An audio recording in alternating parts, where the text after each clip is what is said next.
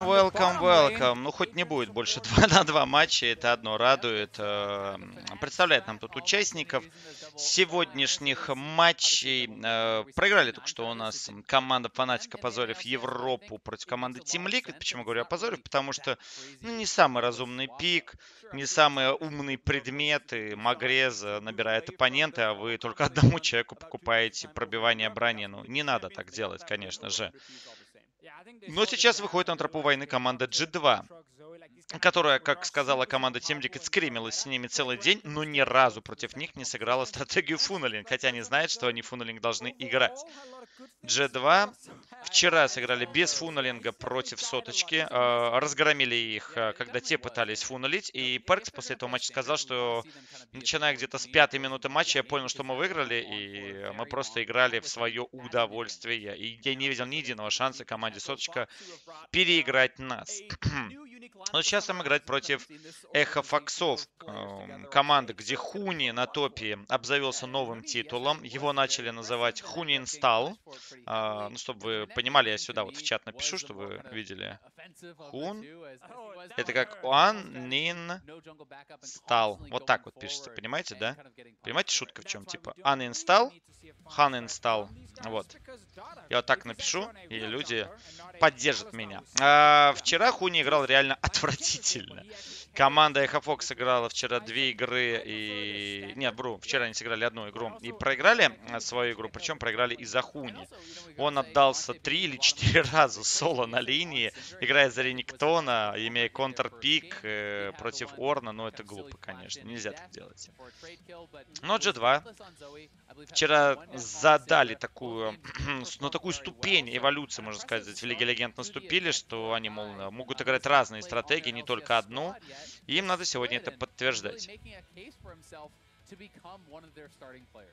Если информация, сделает ли Райта нормальную сотку по полученному урону? Ты имеешь в виду после того, когда тебя убили? А, думаю, это сделают не скоро, потому что эта тема поднимается где-то с четвертого сезона. Там тебя и Сорака периодически убивает тебя, Атрокс какой-то smite появляется непонятный, крипы тебя бьют, которых нет в списке вообще. В общем, Э, Riot сказали, что эта штука никогда не была их приоритетом, и они не собираются ее менять еще и в третьем сезоне. Это было сказано. И поверь мне, их мнение не поменялось с тех пор. Уже прошло 5 лет, но они все еще считают, что это плевать. Ну что ж, Wunder у нас берет Атрокса на first pick е. Вчера банили против него этого чемпиона. Забанили Киндредку от Дардоши, который вчера сыграл на Киндредке. А, забанен был еще Ноктюрн против э, Янкоса. Как э, тебе по виду новый скин на попе? Как по мне, splash art норм, а вот внутри игры не очень. Не видел новый скин, поэтому ничего сказать про это не могу. Хуни еще раз берет крокодил. Вчера он уже на крокодиле однажды открокодилился и вот решил сегодня еще раз поиграть крокодилом. Возможно, реабилитироваться, возможно показать, что вчера это был не предел. Привет, Неон 45. Задумались. о Хафаксе после того, как взяли крокодила, что же делать дальше? Меня всегда улыбали такие команды, которые не продумывают пики сразу на два чемпиона, а только одного берут, а потом сидят и думают еще 25 секунд, а что же сделать еще? То есть это означает, что команда без идей пришла на матч. Э, этим мне всегда нравились команда Cloud9, тем, что они хоть иногда и бывает делают плохие пики, баны, но они знают, что они делают. Они берут одного чемпиона, оппоненты что-то взяли, они тут же забирают двух себе новых чемпионов. И у нас Янкас уходит на Браума, и Кайса идет от Перкса. Вот она. Вот она стратегия а-ля Cloud9. Ну, не стратегия, имею в виду, баны пики, как проводится. Прошу прощения, там чай пью. А, так вот, э, Эхофаксы не забанили а, Атрокса, тут же забирается Атрокс. В лицо получает каких-то непонятных двух чемпионов. После этого G2 тут же забирает себе фуннелинг стратегию Браун плюс Кайса, мол, ну давайте попробуйте.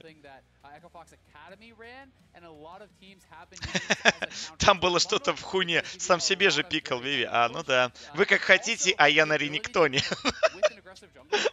Мне как бы плевать. Мне не понравилось мне, кстати, что сегодня э, сказал и по Белтер. По Белтер произнес те слова, что структура турнира не самая нормальная, но потом он добавил, что вряд ли можно было сделать лучше. Но мысль он какую донес, что можно закончить групповую стадию, стадию 0-9, но финал э, сделать реверс свип, ну под реверс свипом подразумевает ответочку, сделать 3-0 и все, и вы как бы выигрываете турнир официально, хотя вы были 0-9 групповой стадии, поэтому, ну, вот эти матчи, они скорее развлекательные, он вот на это ввел э, отметочку, ну, не знаю. У нас здесь э, какой-то Рамбл появился, это Дардош Рамбл Лес, интересный, кстати, чемпион в лесу, Дардош его одно время играл, и не только он, многие играли Рамбла в лесу, и самое смешное, Рамбла в лесу никто не нерфил, а он просто сам по себе пропал был когда-то вот такой период э, в две, а может даже в три недели, может даже до месяца доходило дело, потому что это касалось и про сцены, и солоку. Постоянный был рамбл в лесу. Просто вы его не забанили, получите рамбла в лес. И убить его невозможно, потому что у него там щитки. И заинвейдить его невозможно, потому что у него на первом уровне урона не меньше, чем у Ксинжао. И при этом э, ганги его не такие плохие за счет ешки ускорения с W. Привет, как думаешь, э, кто завтра гранд-финал выиграет? ЛЦЛ или Турция? ЛЦЛ или Турция? Но учитывая, что турки сегодня вроде как одолели более сильные коллективы вьетнамские, мне кажется, они нашли свою игру, и там будет равная борьба. И я так понял, там структура турнира Джокер против Джокера, да? То есть там получается Царь горы может выиграть все матчи. А если Царь горы может выиграть все матчи, то тут, конечно, вопрос, насколько гамбиты подготовятся, потому что, мне кажется, гамбиты все же сильнее играют, чем команда Team Just. Но мне не нравится по-прежнему пикабаны, как проводит команда Гамбит. Но, правда, они даже такими пикабанами победили все остальные команды. Вполне реально, что будет счет 3-2 э, в пользу LCL, именно потому что сначала будет выбита команда Team Jazz, потом будет выбита команда Rocks. Скорее всего, будет первая играть команда Team Jazz. А у нас Пантеон. Что происходит? Так, ребят, у нас здесь какая-то хинея идет от команды Echo Fox. Что-то в стиле как раз-таки... А, вы вы хотите бомбу? Есть она у нас, говорят команда Echo Fox. И берут Пантеона в лес для Дардоша. При этом это хороший ЦЦ-эффект. Ганг будет э, Рениктон плюс Пантеон. Они вполне могут убивать Кайсу с Браумом. Также есть э, возможность э, гангать Рамбла.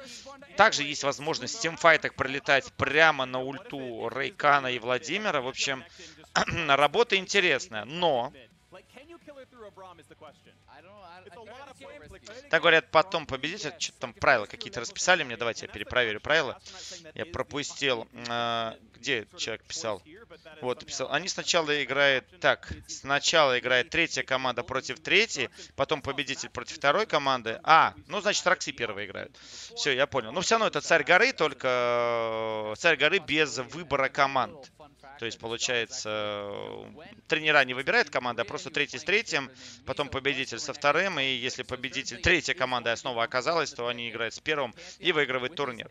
Ну, тогда начнется все с 0-1, скорее всего, но не факт. Роксы слабовато выглядели на турнире, как будто вообще не в курсе. Ну, по первому дню, слава богу, как бы по ним было про проще судить, потому что весь первый день они только играли. У них только два матча было, и я мог э, спокойно оценить всю их игру. Они как раз э, очень слабо отыграли, не на пике, ни, ни действий на карте хороших не было.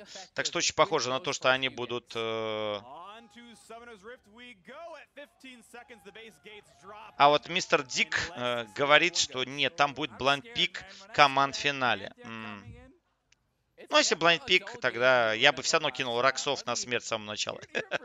я честно кинул бы Роксов на смерть с самого начала. Дело в том, что зачем кидать сразу, ходить с козырей, когда логично ходить именно с команды, которая может э, сделать сюрприз, а может не сделать сюрприз, и вы не будете сильно расстраиваться. Но зато вы увидите противника.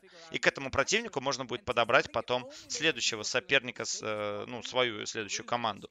Так выгоднее, ну, с точки зрения тренерской аналогии. А если сразу кинуть гамбит и не дай бог гамбиты проиграют первую игру, там не разогревшиеся или э, где-то, ну, ну, бывает такое, ну, не пошла игра, проиграли. Все. И что делать дальше? Кого кидать? Джастов? И надеяться, что потом Роксы, если Джасты проиграют, смогут спасти все положение? Нет. Надо, конечно же, сливать самого слабого сначала. И не надо обижаться Роксам. Ну, по статистике мы оценим, что они самые слабые. Там говорят, ну ведь тогда будет понятно, что турки будут знать, что Роксы будут самыми первыми. Так какая разница? Это и так будет понятно. Здесь нет майнгеймса, ребят. Здесь э, это, это карты. Вы в дурака играли когда-нибудь? Вы что, будете с туза ходить в начале партии? Нет, вы сначала шестерки сбросите. Потом десяточки. Потом даму свою выставите, это тимджаст. И только потом будете тузом отбиваться. Какой смысл отбиваться в начале тузом, а потом с шестеркой сидеть и думать, что он пропрет? Нет. Нельзя так. Ну ладно, это мы так аналогировали немножко. Но у нас э, Дардош второй левел, забрал синий баф и отправляется в Красный лес. Или не идет в Красный лес, что-то он запутался, что ему делать. Любопытно, что Перкс начинал с синего бафа, обратите внимание. Вместе с Янкозом они стартанули синего бафа, обычно начинает с красного бафа. Фуннелинг стратегии. Но здесь, видимо, план был как раз не отдать синий, не отдать красный, потому что красный будет заваржен ботлейном, а синий они заберут сами себе. И, соответственно, таким образом еще прикроют своего джанглера, ой, своего топера. Это очень классный ход от команды G2. Кто-то там спросил, кто победит Лети. Я сегодня сделал целый видосик по фуннелингу, и не только фуннелингу, а общим стратегиям. И те, кто его посмотрели, смогут дать ответ абсолютно правильный. Кто же должен побеждать лейтгейме. Но я тебе подскажу, победит команда G2.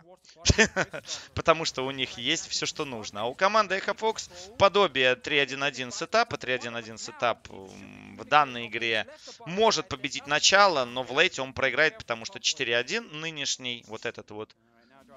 Че у меня там кошка делает? Ты что делаешь? Она мне на шею запрыгнула. Ну, слезай. Все, я вернулся. В общем, очень хороший мидгейм у команды Echo Fox. Очень хороший лейнинг фаз у команды Echo Fox. Но если мы рассматриваем именно лейтгейм, то победит команда G2. Кайса залог победы. Да не только Кайса. Если бы здесь Зая была, я бы тоже был залог победы. Если бы здесь был э, Мастер И, тоже был бы залог победы. Uh, for the Echo Fox side is like, well, okay, great, that's working now. How long is it going to work for? You know, like, is this going to work into the mid game? Is this going to work into the late game? I still feel Что Трокс банить им было западло? Не знаю. Мы решили, что Хуни справится. Хуни пока проигрывает эту линию, потому что я говорил, что этот чемпион нынешний очень похож на механику Илаойки, не э, именно механически то, что вы делаете за чемпиона по скиллам, а то, что вы делаете по действию в игре. Вы просто тупо пушите без остановки. Парксианкозам идут в свой лес найти крипов, но тут их их уже нема. Забрал их Пантеон за это время, свой лес он так и не формил, и Парк с Янказом вынужден возвращаться назад. Интересная идея Хуни отправить на мид. А, кстати, не Хуни же на Рениктоне, я смотрю. Хуни у нас на миде играет на Рамбле, а Феникс у нас играет на Рениктоне на топе. Прошу прощения. Только сейчас заметил, когда он никнейм прочитал. ну так вот а, отправить Рамбла на мид, хоть там Хуни, хоть Феникс не имеет значения, кто из них. А главное, что этот чемпион будет пушить. Пушить точно так же, как Лулу. И у него очень хороший мидгейм, в отличие от Лулу, который там только ульта есть и никакого урона. Хороший здесь all-инчик идет по, крокодилу от Вандера. Крокодил еще не знает, что он уже проиграл этот размен, потому что Вандера хороший сейчас будет отхил. А вот Феникс этим похвастаться вряд ли сможет. Вандер решил отступить, потому что он боится Пантеона. Они не знают, где Пантеон. Он знает, что он стоит на этой линии один в один. Но при этом всегда может джанглер оппонентов прийти и все исправить э, в пользу команды Эхо Фокс. А вот G2-шные э, джанглеры сюда не придут. Грустно бегают у нас по лесу G2-шники, потому что там нет ни одного пака крипов, и они в итоге проигрывают очень сильно. Сейчас фуннелинг стратегии по фарму, вы видите, вообще нет фарма. Джангл кемпы убиты были врагами.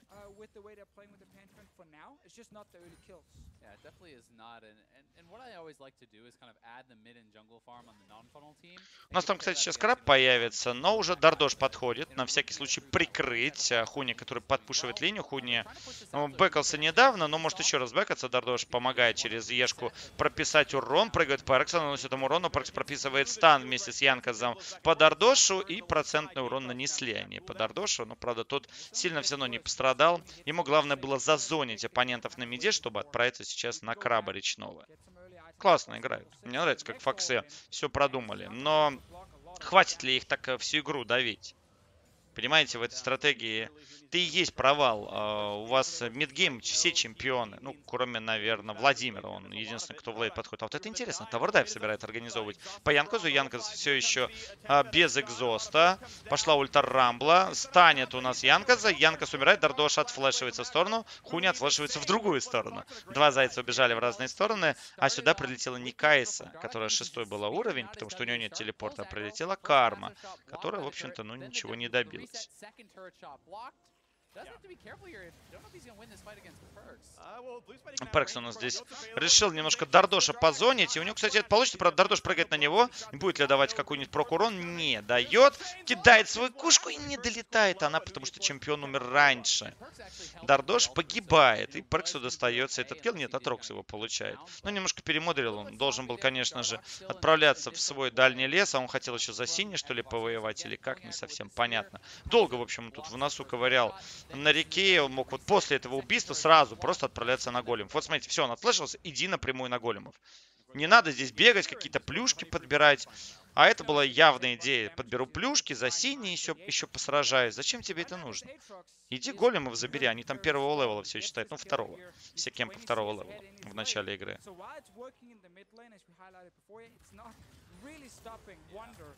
И теперь Вандер с красным бафом начинает дальше издеваться над Фениксом. Феникс нажал ульту, чтобы хоть как-то восстановить здоровье. А, правда, не особо он его восстановил. Я говорил, что ему без а, врывов чемпиона особо не поздоровится. Пантеона, кстати, брали уже американцы. Наверное, это единственная э, лига, Лига Легенд, где пикуют пантеоны регулярно в каждом сезоне. Правда, чаще их брали не в лес, а на топ-лейн. И пару раз брали их на мид. Ну, наверное, вот сколько у нас там, 8 сезонов Лиги Легенд прошло. Ну, Пантеона в, в одном из сезонов брали часто, а вот если забыть про это, где-то начиная с пятого сезона его брали очень редко. Ну, с каждым сплите по разу его брали, там 6-7 раз его всего лишь взяли. Но Пантеон бывает. А вот в Европе, Корее, Китае Хотя вру, в Корее и Китае его брали как саппорта Пантеона одно время. И это было в шестом, по-моему, сезоне как раз. В те времена, когда еще Анечка э, саппортом тоже поигрывала. Когда играешь за Рениктона, ждешь ульты, как Замунда, да. Хорошая ульта здесь от Рамбла, накрывает двух игроков. Браум ставит щит, чтобы не получить от э, много урона от Хуни. Поглотили они этот урон, но Tower у них не сработал. А где Альтек? А, да, надо обратить внимание, я забыл про это сказать. Увидел, но забыл. Так вот, они взяли в эту игру, видите, Дамонте с мидла на ботлейн вместо Альтека. Видимо, это был план именно против команды G2, которые должны были по их логике играть funneling. А вы знаете, что funneling это подобие 4-1. И это 4-1 проигрывает в начале игры 3-1-1 сетап. И они решили сыграть через брузер в 3-1-1, где АД керри по факту им не нужен, команде Эхо Фокс. И вот они Дамонте отправили на ботлейн. На топ-лейн в итоге отправили Феникса. Но играют без номинально своего стрелка в этом матче. Что же касается команды команды G2, то у них лейт очень хороший. Не то чтобы там 90%, что они выиграют, но прилично. А вот это ошибка. И эта ошибка вполне может стоить всей игры. Я серьезно. Потому что Пантеон стал уже 0-2. У вас было сейчас преимущество забирания дракона, вы его забрали, потом вы забираете вышку снизу за счет пантеона ульты, потом можно было после этой вышки вместе сместиться втроем, забрать красный баф, отправить Пантеона дальше на фарм синего леса самим реколиться и сделать свап. Что же произошло? А, одно из звеньев погибло. Погибло, отдало деньги, но это не так страшно. Главное, что был размен, получается. Вы потеряли вышку на боте, но зато получили килл на пантеоне. И вот вся эта стратегия 3-1-1, особенно с такими чемпионами, которых Эхо Фоксы набрали, она может провалиться просто потому, что чемпионы очень слабые в лейтгейме.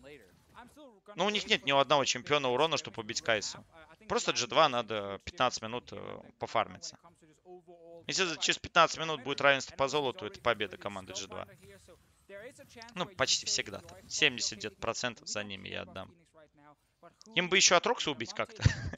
Я тут так подумал, там, Кайса Кайса, ребята, там еще с Атроксом никто справиться не сможет. Не, нечем бить. Пантеон должен быть к этой стадии игры где-то уже 6-0. Чтобы, ну, игра шла именно так, как они хотят. Ну, 6-0, ладно, я загибаю, это больше к Сулаку относится.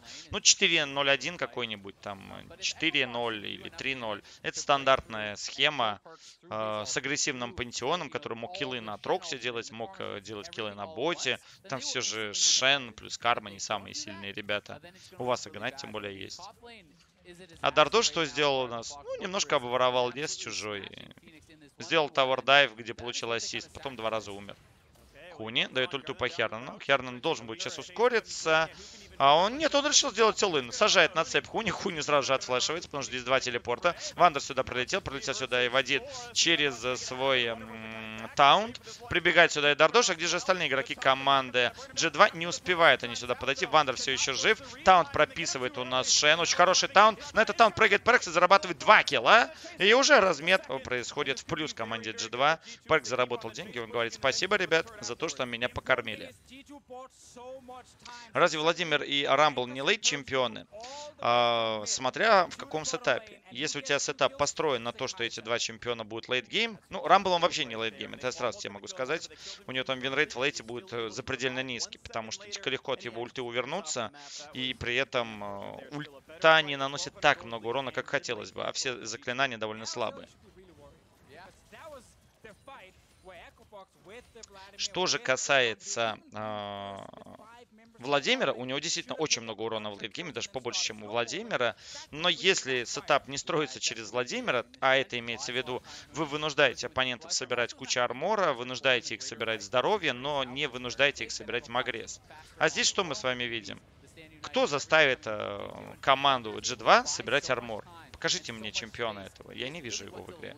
Пантеон? Да... Пфф, этот пантеон это какашка драконьей силы. Помните, как в том мемасике из Камеди Клаба? Ну, реально, бесполезный пантеон.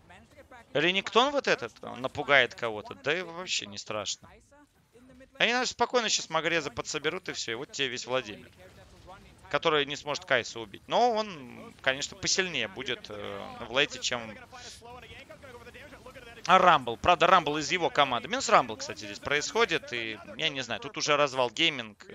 Фоксы пытается форсировать события, пытается сделать э, как можно больше киллов, а получается как можно хуже. И вроде они все делают правильно, у них сейчас сильнее сетап, даже учитывая, что они отстоят 2500, они могут убивать врагов, но очень быстро реагирует команда G2 и побеждает. Там пишет у нас Николай Джексон, почему я болею за Европу. Ну, во-первых, Европа нам ближе, давай вот, по факту думать, Европа все же ближе, чем Америка нам. А, во-вторых, э, не знаю. Во-вторых, не знаю почему. Наверное, мне просто нравится больше, э, как это бы сказать, стратегичность и тактичность. Э, именно с точки зрения тактики. Вот хорошо играет и команда G2, и команда Фанатика. А Америка какой-то хаос у нас по-прежнему в Лигу Легенд привносит. Как будто вот реально из Сулаку выбрались. Ведь э, давайте вот заменим несколько чемпионов у факсов. Вот сядем и заменим. У них есть Рамбл, который неплохо запушивает, с одной стороны, но есть альтернатива этому Рамблу. Мальзахар тоже неплохо запушивает. Я даже не буду сейчас брать э, избитые, избитых чемпионов, типа Талия, Зоя, там, Лулу. Вот Мальзахар, он тоже неплохо запушивает. А Нивия, она плохо в начале, но потом неплохо запушивает. Ксерат вообще шикарно запушивает. Зикс шикарнейше запушивает. Перкса здесь почти убили, но он выживает, потому что Игнайта не хватает. Щиток Вадида, щиток его, собственно, через ульту. И он выживает. То есть Рамбла можно заменить. И не было бы так все плохо у него. Дальше идем по пантеону. Левел 2 ганги, все супер-дупер. Э, оставим, допустим, Рамбла на меде. А зачем вы берете это пантеона? Возьмите Джарвана. Стяжечка по трем игрокам. И сверху этой стяжечки Рамбла ульта залетает. Возьмите Ксинжао, который подкидывает одного игрока, и Рамбл дает по нему прокаст. Почему этих-то чемпионов вы не взяли? Почему вы взяли именно Пантеона? Вот тебе еще одна замена. Дальше идем к Рейкану. Вот нахрена им здесь Рейкан? Что он здесь забыл? Они уже видят Браума у оппонентов э, в саппорте фуннелинг стратегии и берут Рейкана. Куда? Почему вы Пайка не хотите взять? Пайк открыт, Пайк рабочий чемпион. Все это знают. У Пайка есть как раз усиление по одной цели урона, ну, то есть он сможет его добить своей ультой, сколько бы там здоровья не осталось, ну, то есть там именно конкретное здоровье э, останется, вот сколько бы там щитков не было. То есть ту же самую Кайсу он сможет убить. Кстати, по Кайсе делают инициацию, Пантеон сверху приземляется, но Браум не подпускает их, входит, ставит щиточек, и, по-моему, это была финальная попытка команды Эхо Фокс сделать что-либо полезное в этом матче. Так вот, заменим Рэйкана на Пайка тоже будет нормально. Я только менял по одному чемпиону, я даже не сетап весь менял. Я просто заменил чуть лучше Рейкана, взял Пайка за место Рамбла. Если оставить все же э, Рейкана на боте, можно взять того же самого Ксерата. Если оставить Рейкана и Рамбла, можно за место Пантеона взять Ксинжао. И вы получите лучший сетап. И он будет и сильнее в лейтгейме, и сильнее в мидгейме. А они просто вот, э, а давайте возьмем этих чемпионов. Вчера у нас на крокодиле ничего не получилось, давайте сегодня еще раз возьмем крокодила. Ну, отлично. Что там крокодил? 0-2 крокодил. Надо было брать Джарвана саппортом. Ну, Джарван саппорт вряд ли бы сработал. Просто вот Пайк против э, Фуннелинга, мне кажется, очень силен. Потому что, видите, сейчас щитки будут на Перкса накинуты. А, ну, здесь не было накинуто. Он даже не, не было ульты у него. Это я имею в виду то, что можно было бы Перкса убивать именно вот э, сквозь эти щитки при помощи Пайка. А тут просто развлекается. G2-шники, Факсы ничего против них придумать не смогли в этом матче хорошего. Так-то они вроде бы придумали, но исполнение было отвратительное. Скорее всего, не хватило практики. А, Феникс, э, как дела? Нормальное дело. Хорошая ульта, кстати, от Рамбла. Это минус Янкос. Нет, Янкос прыгает на W Перксу. Перкс тут же дает ульту вперед, потому что Вандер сюда прилетает и умирает у нас Рейкан. Дамонте охреневает от происходящего. Говорит, ребят, ну, дайте немножко мне пофармиться. У меня только Spellbinder, да и то. Я им пока не могу пользоваться. Нужно просто зарепортить лес. Кстати, как тебе Атрокс? Мне кажется, что многие команды не доигрывают против Атрокса. Я не верю, что он настолько силен, просто потому что статистика в Солоку его слишком низкая до сих пор. Было много чемпионов, которые были с низкой статистикой, и на простене они тоже не работали. И было много чемпионов, которые э, на чемпионатах э, простене, по сути, были очень сильные, но Тогда они были и в Солоку очень сильны. Здесь же получается какой-то резонанс. На чемпионате они жутко сильны, а вне... они крокодила, они просто не верили, что крокодил пойдет дальше пушить. Ченнелинг у нас там Шен делает и решает отпустить крокодила. Если честно, не совсем понимаю, почему они отпустили крокодила. Они подумали, что это ловушка, что кто-то пролетит еще и поможет ему. Ну ладно. На дурака здесь Альтек смог пофармиться. А нет, Феникс. Я, я все Альтека ищу здесь на карте, его нет. Ну и слава богу, Альтек в этом унижении не участвует.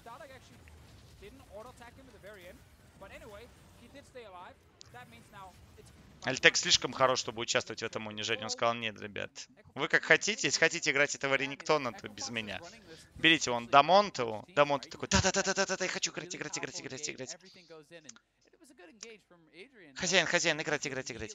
На просцене Атрокс Комета выигрывает, solo queue с Конкьюером, скорее всего, играет. Ну, и это тоже верно. Ну, сейчас просцена показала всем, что Комета есть, и Комету можно использовать.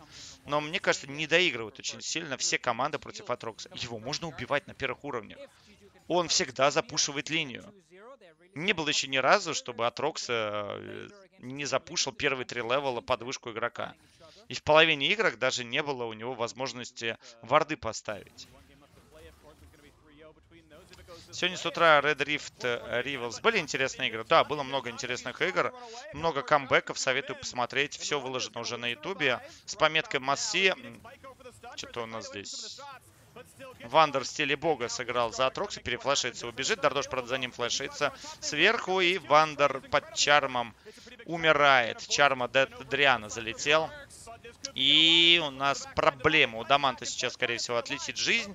Паркс его очень долго убивает, и что у него ничего не хватает урода. Парксу пока что. Слишком рано, конечно, началась вот эта вот канитель 5 на 5 э, с этапа. Ну, то есть, где в пятером начали группиться команда G2. Паркс не успел вообще фармы себе еще заработать в этой игре. У него урона, конечно же, нет. Там на шортуз хорошо, если уже появился. А, у него вообще, видите, какой билд. Он до конца джанглийский доделал предмет. Доделал э, себе Guinsoo's э, только что. И вот э, Nashor's Tooth а все еще нема.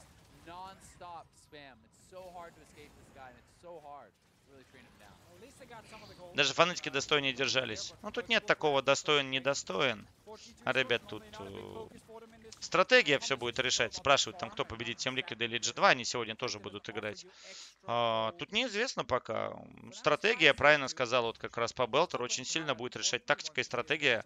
Кому лучше достанутся чемпионы, тот, в общем-то, и сможет выиграть. Вандер ведь показывает нам, как он сделал инициацию по Фениксу. Несколько подкидываний. Taunt, еще одно подкидывание. И, Фе... и Феникс все равно остался в живых. Вандер его, конечно, догонит.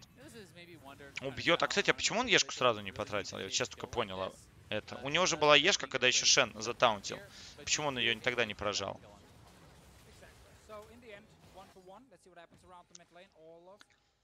9-3 преимущество команды G2 неописуемо большое по золоту. И у них лейтгейм еще тут просто издевается. Перк скайтит. У Феникса есть только Ешка, которую он сможет дать через стенку. Но там бы легко просто ультанул. Перк за ним, за спину и все. А так даже ульту не пришлось тратить. Потому что Феникс решил не пытаться через стенку убегать, а решил остаться. Кстати, странно, что он не попытался через стенку убежать. Дело в том, что обзора-то нет на этого чемпиона. Есть, ну, мы-то видим, что там Вард стоит, но он-то этого не знает. Теоретически он мог через стенку прыгнуть, и э, Кайса не смогла бы нажать R за ним сразу. not been fun for him. But I mean, pretty massively different situations. Yes, they abused the top laner twice, but yesterday, Brandini was the one uh, whose team was funneling, and he was getting 2v1. Да, английские комментаторы говорят, что вчера Брандини с команды Соточки занимался фуннелингом, и он был один в два, его просто уничтожили. От его рамбла остался только огнемет, засунутый ему в жопу. Ну, серьезно, там настолько издевались над ним на линии, вы помните, там минус 40 фарма было и 0.4 или 0.6. Более того, его даже в чатике начали обзывать Бронзини, а не Брандини, именно от слова бронза. Бронзини, вот так вот его чатик обзывал. А здесь э, команда G2 делает тоже фуннелинг, но при этом Вандер спокойно пушит э, бесконечно линию. Рениктон э, минус 100 фарма получился. Отлично. Шикарный Рениктон. Спасибо за игру. Дардош, кстати, минус. У рубиновый кристалл у нее... Зачем она купила? Кстати, да, интересно. Перкс купил рубиновый кристалл. Обычно в билде Full Ability Power это только для Банши Вейла. По-моему, да, Банши с этой штукой собирается. Хотя, что-то я сейчас так задумался. Я не помню, как Банши собирается. Что-то я редко на Элизе и Эвелинке их собираю, поэтому не помню.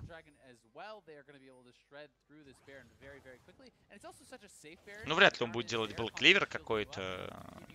Вряд ли он будет Frozen Mallet делать. Он либо ошибся, либо это действительно с Баншевейла, потому что там есть в сборочке этот предмет. Я просто реально забыл. У нас э, Драко, ой, извините, Нашора забирает команда G2. Финальный олын идет Эхофаксам. Им надоело уже играть. Пытаются они там хоть кого-то убить. Никого не получилось сразу же убить, но зато добили. Потом они Кайсу и решила G2 команда отступить. Мне кажется, команда G2 могла здесь нормально киллов заработать. Зря вот эти два игрока убежали. У них все еще был урон. Но они решили не рисковать. Нашора все же сохранить. Морелка же тоже собирается. Ну, Морелку никто на кайсе не делает. Если что, она справляется и без резалки от хила, ей это не нужно. Привет, посмотрите, пожалуйста, что за двойные стаки на Седже после ульты? Не после ульты. Сиджуани может двойной стан прописать. Я уже много раз рассказывал.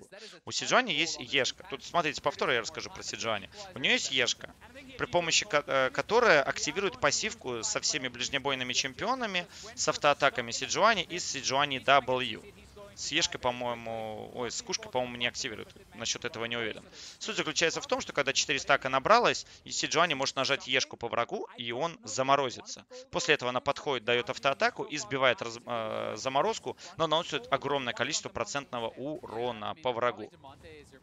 Так вот, чтобы сделать двойной стан, тебе надо сначала воспользоваться вот этой пассивкой с Ешки, после этого дать ульту. Ульта тоже накидывает заморозку и ты можешь снова сбивать ешку. То есть снова можешь дать автоатаку. Получается, ты два раза процентный урон делаешь и два раза человека замораживаешь. Если же ты сделаешь сначала ульту во врага, то твоя ешка не активируется. Ты просто один раз собьешь эту заморозку, и дальше надо ждать кулдаун очень долгий э, на чемпионе. Он не может быть второй раз заморожен э, при помощи твоей пассивки. Я считаю это неправильно, но Риута считает это фича, и она крутая. Хотя, мне кажется, это была ошибка изначально, механическая, баг которые Риоты сохранили, теперь уже как фичи сделали.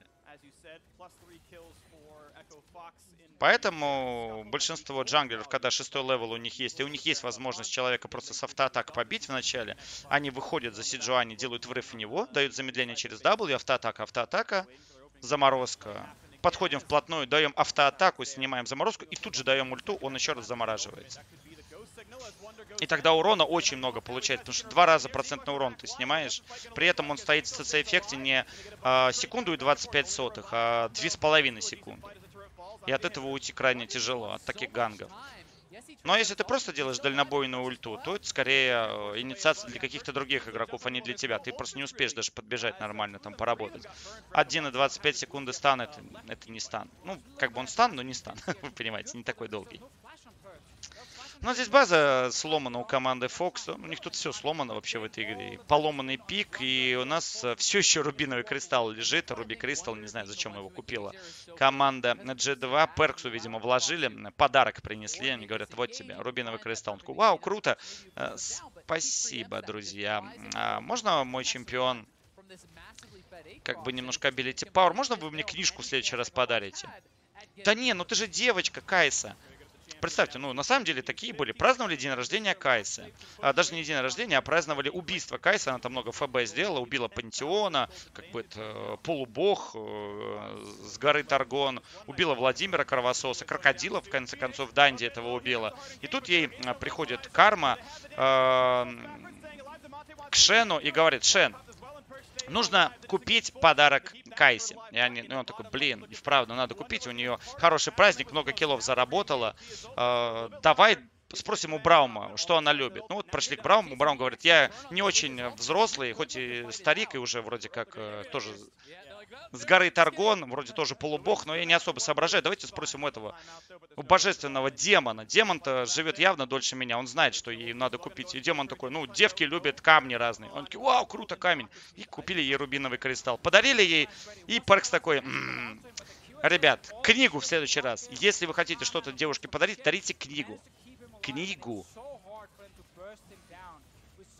И Джинкса сейчас думает, не надо книгу. Пожалуйста, не надо книгу. Только не книгу. Да. Cool story, бро. Это вообще настоящая история. True story. Как говорил э, Барни Стинсон. Браун не полубог, он просто классный мужик. Ну или как-то так, да. Но сейчас мы увидим, кстати, во что она его превратит, но думаю, она сейчас это продаст. Не. Он сохраняет интригу, ребят. Он нам не расскажет, что это за предмет. Кстати, это кайса вода идет все же. Посмотрите, это кайса не Ability Power. Э, даже не знаю почему. Нет на шортуса. Это Death Dance с QSS. Но все равно урона достаточно много. Скалку и поварешку дарим девушкам, да.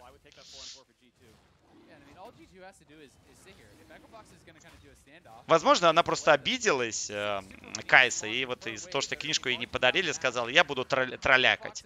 И не буду собирать тот билд, к которому мы все привыкли. Через Nashor's Tooth, через банши, ну или там, там за место банши Жоню можно собирать. Это старый билд до нерфа, да, я понимаю. Но там даже в этом старом билде до нерфа все равно нет э, Ruby Crystal а нигде. Отходил на 10 минут, как они еще не проиграли? Не знаю. Ну, базы у них нет. На базе остались только дырки. Э, дырки от, next, от этих, от ингибиторов дымящиеся. И Вандер тут развлекается. Zz'Rot Portal там от Вадида был поставлен наверх. Самый опасный предмет в игре. Аккуратнее, он э, делает ничего. Советую его никогда не собирать, потому что он реально бесполезен. Посмотрите, как много урона нанесет сейчас взрыв этого чудовища. И при этом это чудовище можно еще сбить. Если бы оно было бессмертное, тогда еще ладно. Попытка здесь была от Даманта сделать all но Янкс поставил щиток. Перк пробегает вперед, хотел по Даманта дать удар с пассивки, но так и не добрался. А Зизерот Портал погиб. Недолго жил это здание здание. Спирит визаж купит. Кстати, может быть. Хорошая инициация. Рамбла ульта. Пантеон сверху сейчас приземлится. Ну, что-то все убежали от Пантеона. Приземлился он туда, где никого уже нет. Перк зарабатывает киллы. И это уже 3 килла. Это уже 4 килла для Перкса. И можно дальше пойти за пенточкой, кстати. А, нет, подождите, только трипл килл. Тогда пенты не будет. И команда G2 делает на этом чемпионате ничью между Европой и Америкой, а отдельно для себя делают 2-0. Поздравляет Перкс Янкаса.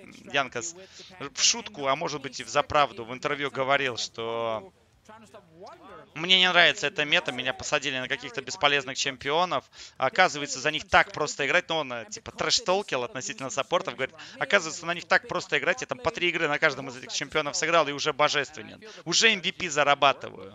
А потом, когда ему забанили в одной игре Браума, он сказал, что видите, насколько я крут, я уже начинаю выбивать баны из оппонентов, а у меня еще есть и другие саппорты. И в той игре он сыграл Рейканом вместе с Зай от Перкса. Вот такой вот забавный Янкас, он, конечно, удовольствие получает от игры, мне это всегда нравилось. То, что Янкас такой полячок-боровичок, скажем прямо. 3-3 у нас счет в этой серии. Напоминаю, что сегодня явно выявится победитель в любом случае, потому что осталось еще э, три игры у нас, соответственно, кто-то станет победителем. Ну а мы идем на перерыв. После перерыва будет играть э, команда с... Опять, по-моему, фанатики. Сплайси сегодня последними играет, насколько я помню. Так что будет опять играть команда фанатики. Давайте, на перерыв. Мы так и не узнали, зачем Кристалл. Да?